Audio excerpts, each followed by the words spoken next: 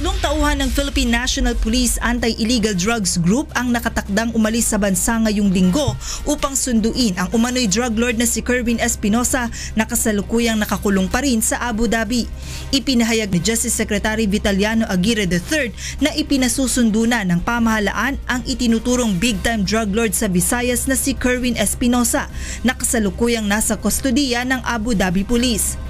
Si Kerwin ang anak ng napaslang na si Albuera Leyte Mayor Rolando Espinosa matapos umanong manlaban sa mga pulis na nagsilbi ng search warrant sa kanyang kulungan noong Sabado ng madaling araw. Ayon kay Secretary Aguirre, hinihintay na lamang na matapos ang pagpuproseso sa visa ng tatlong pulis na siyang inatasang sumundo kay Kerwin.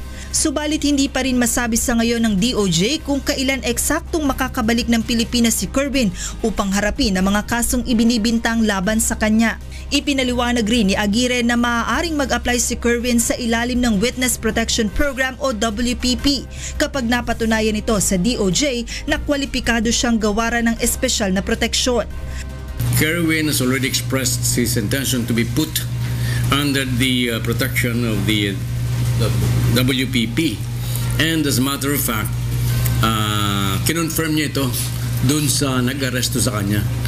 Yun ang sabi nila, once they get the uh, person of Kerwin and uh, bring him back to the Philippines, then they are going to turn over uh, Kerwin together with any statement, sworn statements, so that uh, we could consider him whether he is uh, qualified to be put under the WPP. Ayon sa DOJ, sa oras na makauwi sa bansa, pansamantalang dadalhin at mananatili sa PNP Custodial Center sa Camp Kramis si Kerwin at kinakailangan rin na maipresenta sa korte ng mga otoridad. Ayon kay Aguirre, sa ngayon ay wala pa rin silang hawak na affidavit ni Kerwin Espinosa kaugnay pa rin sa mga kasong kanyang kinasasangkutan. Ngunit umaasa ang ahensya na sa lalong madaling panahon ay makakabalik na ng Pilipinas si Kerwin upang sagutin at mabigyang linaw ang mga alegasyon laban sa kanya.